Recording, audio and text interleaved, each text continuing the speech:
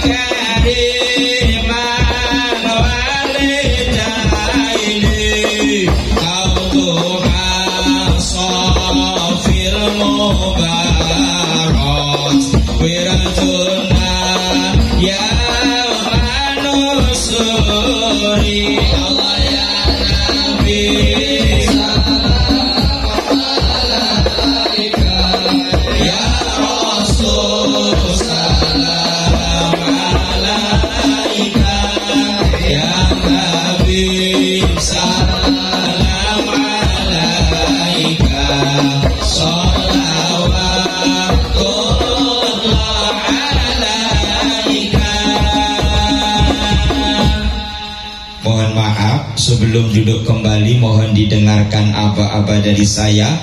Semuanya siap gerak ah hadap kanan gerak letakkanlah tangan kedua di atas kuda di depannya gerak hitungan pertama pijit memijit dimulai. Satu dua tiga empat lima enam tujuh delapan. Satu dua terus sambil tirukan suara saya saudaraku. Saya doakan kamu. Mudah-mudahan keluargamu sakinah mawadah warohmah putra putrimu soleh dan soleha rezekimu lancar halal barokah semoga selalu istiqomah. Bila dipanggil Allah husnul khotimah amin. Siap gerak. Balik kanan gerak. Gentenan gantian eh gantian gantian ayo. Gantian gantian gantian yo. Hitungan pertama pijit memijit dimulai. Satu dua tiga empat lima enam tujuh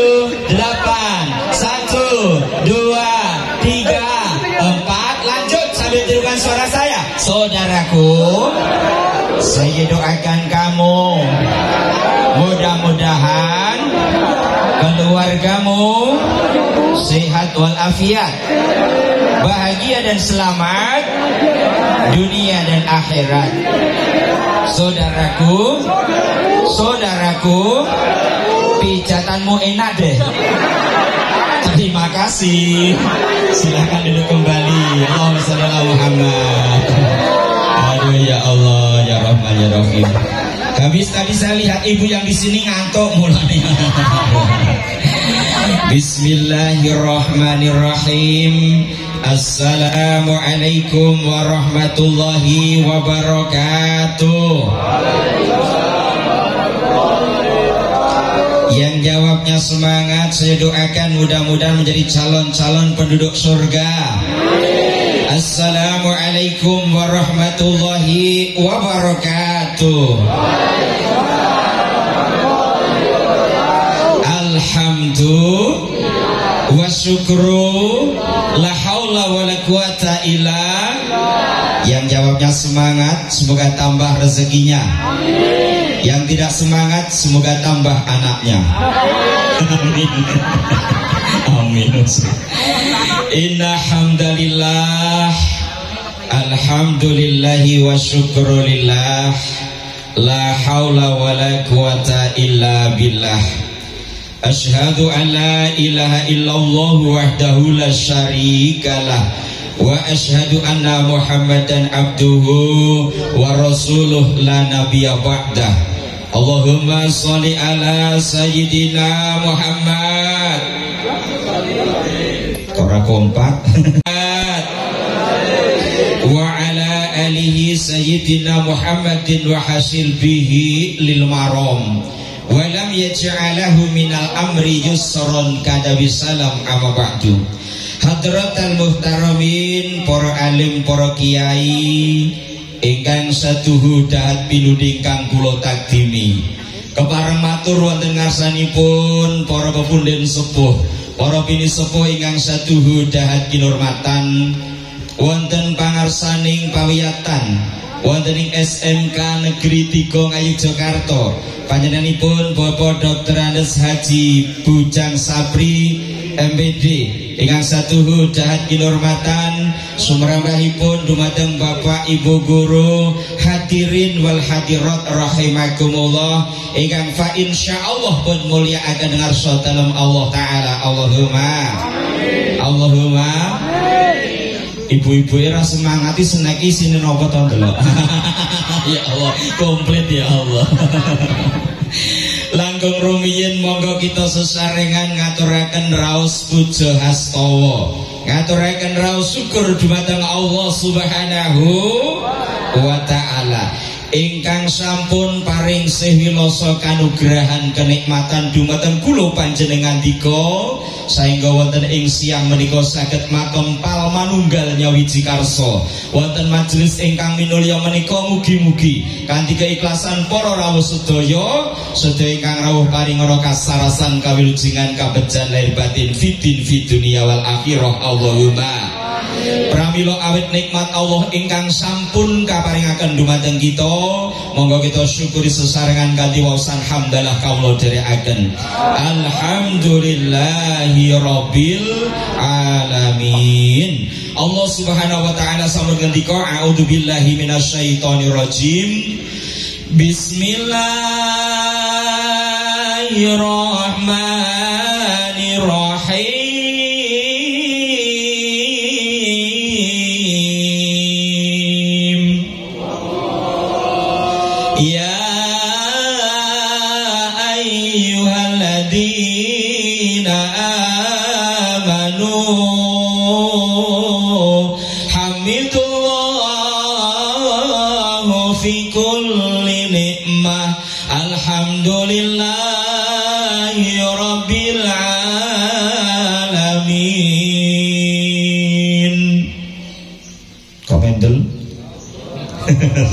Saya Bapak Ibu, saya mau bertanya, mohon dijawab sejujur-jujurnya agar tidak ada dusta di antara kita.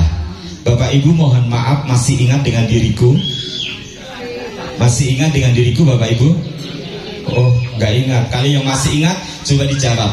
Masihkah kau ingat Oh sayang ibu diri saya mas Iya mas Alhamdulillah uh, Ada yang ingat ada yang tidak? Boleh. Uh, baik saya mau mengingatkan kembali Tiga tahun yang lalu Karena tiga tahun yang lalu kita pernah berjumpa ya Bunda Bapak Ibu Tiga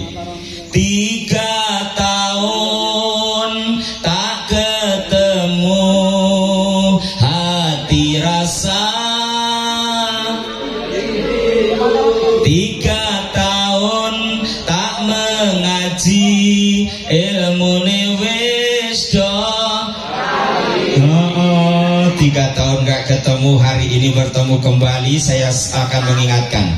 Wahai orang-orang yang beriman Sebutlah nama Tuhanmu Pujilah nama Tuhanmu. Di setiap kau mendapatkan kenikmatan Dengan mengucap syukur Alhamdulillahi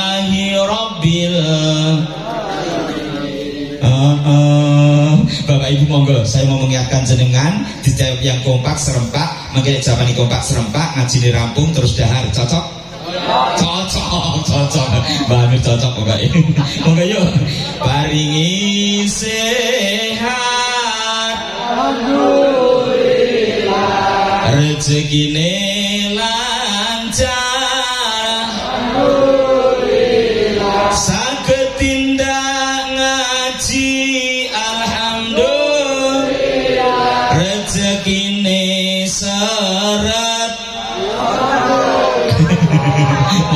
alhamdulillah Bunda, mungkin Bunda dari sekian yang hadir masih ingat dengan satu statement yang punya begini Yang mengatasi masalah tanpa masalah adalah Pegadaian Pegadaian itu gak mengatasi masalah yo Nambah masalah Jadi yang mengatasi masalah tanpa masalah adalah sedek Sedek Apa pun masalahnya, apa pun problemanya, jadikanlah sedekah sebagai solusinya. Karena yang namanya sedekah ini bisa dijadikan sebagai jamu, bisa dijadikan sebagai obat. Yang pertama sebagai jamu tolak, tolak angin, tolak balak, masa tolak angin. Oh ya Allah. Ya harus diingat ya. Yang pertama sebagai jamu tolak balak. Nih, jadi kalau Bapak Ibu pengen dijauhkan dari mara bahaya, pengen dijauhkan dari kesulitan kesusahan, ini sedekahnya yang istiqomah. Insya Allah kalau sedekah kita istiqomah, kita akan dijauhkan dari balak dan musibah. Allahumma. Amin. Nomor siji tinggal jamu tolak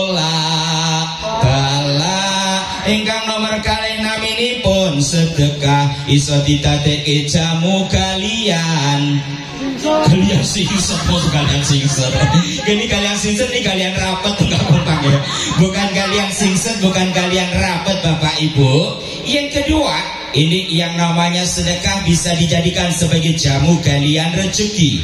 Jadi kalau Bapak Ibu merasakan ini rezeki saya kok mampet ya, rezeki saya kok seret, dagang gak laris-laris, rezeki kok perasaan Senin Kamis, pancing dengan sedekah. Insya Allah kalau sedekah kita istiqomah, maka Allah akan memberi rezeki yang lancar halal barokah. Allahumma. Engkang kaping tiga pun yang ketiga nih Bapak Ibu Yang namanya sedekah ini bisa dijadikan sebagai jamu Pemikat hati, pembuluh rindu dan pemikat sukma Seandainya yang datang ada yang statusnya jomblo Pengen cepet dapat jodoh Ada yang jomblo? Ada yang masih jomblo? Nah, atau begini Bapak Ibu Bapak Ibu punya putra Usianya mas sudah dewasa. Sudah saatnya berumah tangga tapi jodoh kok belum kunjung tiba ini sedekahnya yang istiqomah. Insya Allah kalau sedekah kita istiqomah orang yang saat ini masih jomblo akan segera diberikan jodoh oleh Allah subhanahu wa ta'ala. Allahumma kita doakan ya. Pengen cari yang seperti apa. Dengan segenap cinta dan kerinduan salam solawat Semoga tercurahkan kepada baginda Rasulullah Muhammad Sallallahu alaihi wasallam dengan harapan dan doa. Semoga kelak di yaumul kiamah Kita semua mendapatkan syafaatnya. Allahumma Bapak Ibu ayo dong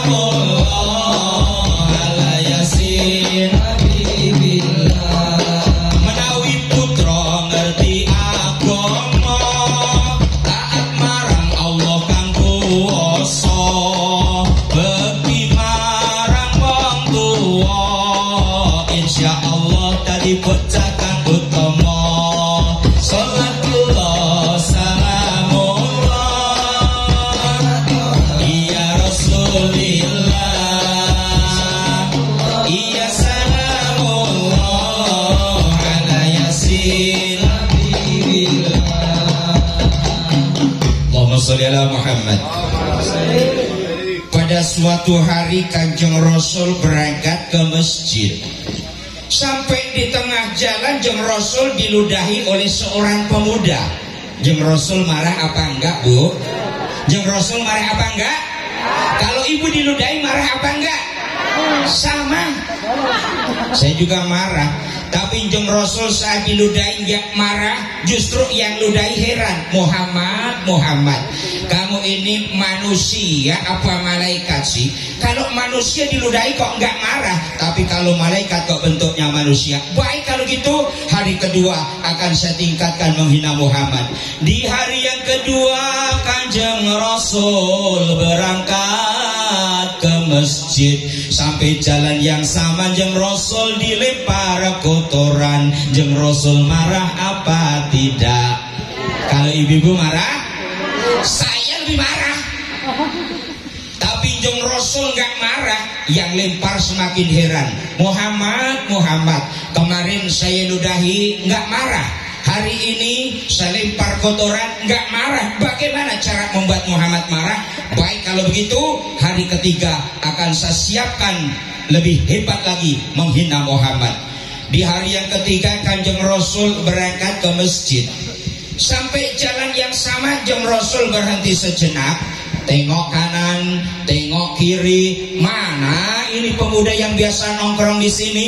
Setelah jeng Rasul sholat, jeng Rasul nanya sama penduduk setempat. Assalamualaikum saudaraku. Assalamualaikum saudaraku. Apakah sudah pada lapar? Oh belum, alhamdulillah. Assalamualaikum saudaraku. Waalaikumsalam. Jeng Rasul ada apa? Saya mau nanya, ini pemuda yang biasa nongkrong di sini hari ini ke mana kok nggak ada? Lagi sakit jeng Rasul. Sakit apa? Katanya mah demam tinggi jeng Rasul. Kalau boleh tahu rumahnya mana? Jeng Rasul lurus. Kemudian sampai perapatan Cibungan ke selatan. Di rumahmu, rumahmu. jeng Rasul lurus belok kanan di situ rumahnya Jeng Rasul. Baik kalau gitu saya mau menengok dia. Nun sewu Bapak Ibu sebelum saya lanjutkan, siapakah nama pemuda yang menudai Jeng Rasul? Namanya siapa? Yang lempar kotoran jeng Rasul Pemuda tersebut namanya siapa? Belum kenalan? Sama. Namanya adalah Suro. Suro? Apa Suroto? Suroto ya ini tuh Gio Ya Allah Masa Suroto Masya Allah. Namanya Suroko Bapak Ibu. Nah namanya si Suroko akhirnya jeng Rasul datang ke rumahnya Suroko sampai rumahnya Suroko jeng Rasul gitu pintu Assalamualaikum saudaraku. Suraka seneng sampeyan yo beda meneh beda meneh ya Allah. Iki Suraka. Assalamualaikum saudaraku Suraka heran.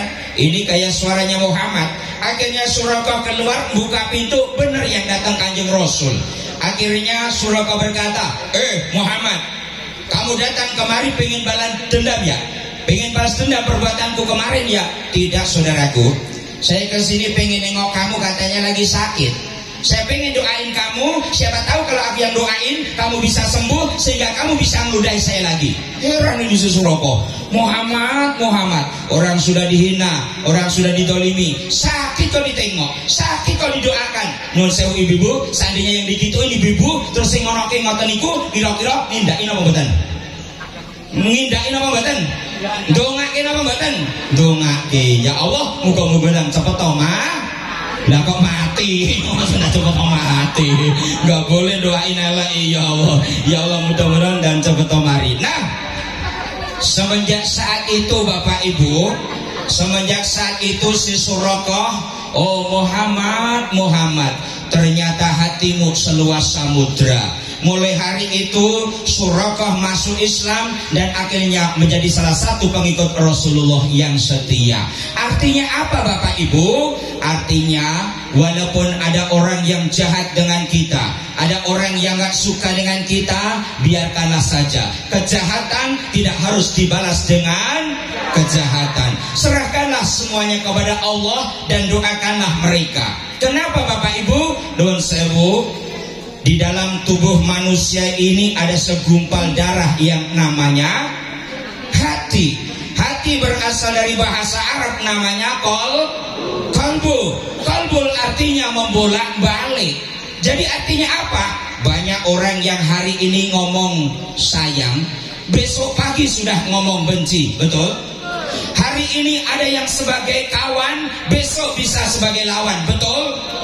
Kenapa? Karena di dalam hati eh, di dalam dirinya ada segumpal darah.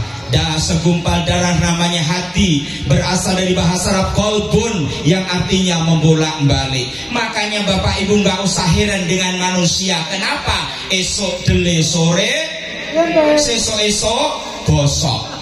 Nah, jadi Bapak Ibu nggak usah heran kenapa? yang itulah sifat manusia. Nah mudah-mudahan kelak di yaumul kiamah kita mendapatkan syafaatnya Allahumma Bapak Ibu yang kami hormati.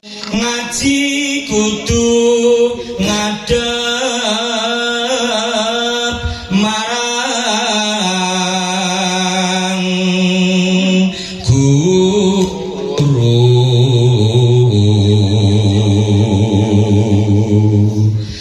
prajue kang bener kudu ditiru ya tapi gunung yo nak. Eh?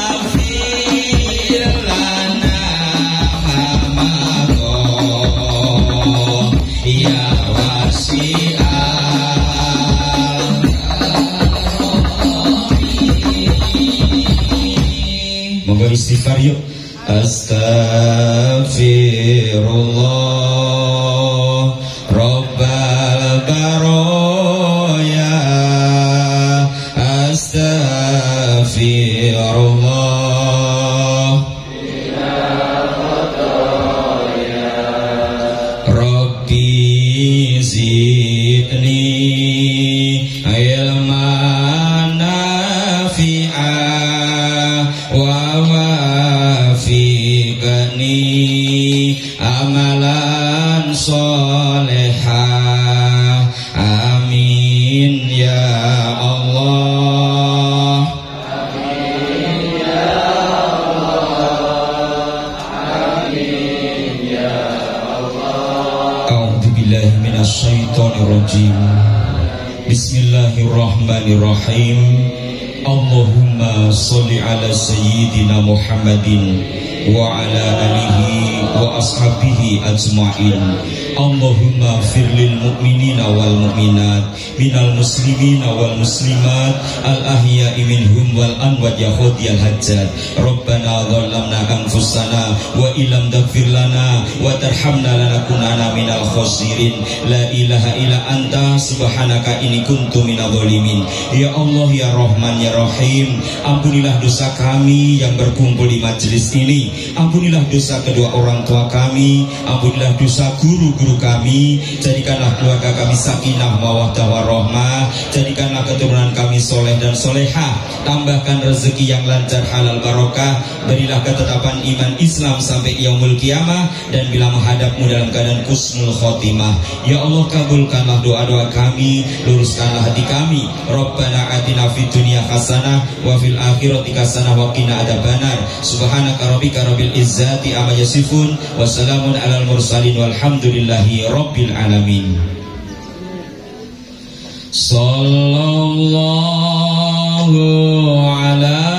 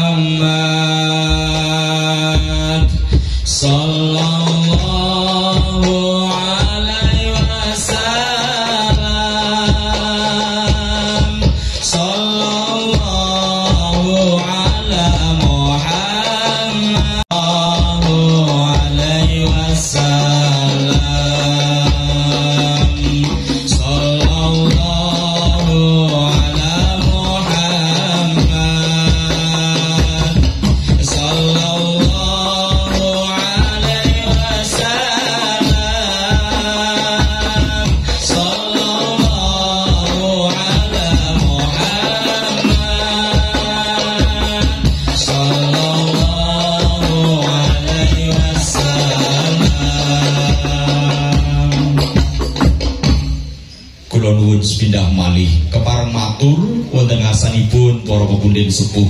Para bini sepuh para rawuh ingkang satuhu dahan kinabekten mekaten ingkang saged kawula aturaken wonten ing siang menika seketik mugi-mugi dados ilmu ingkang manfaat.